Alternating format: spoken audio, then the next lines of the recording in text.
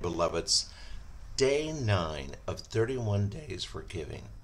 You know, whether you're doing this in the month of December or whether you're doing this in the month of March, 31 days of giving will get you on the right foot for seeing the world a different way. Today, our affirmation is I honor those who lit the way for me.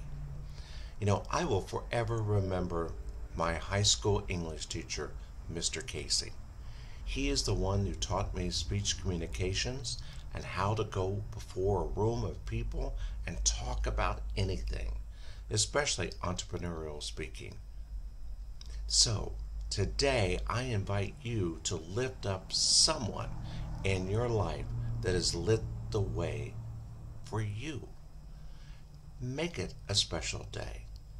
Now, go do this. Have a good day, and we'll see you tomorrow for day 10 of 31 days of giving. Have a blessed day.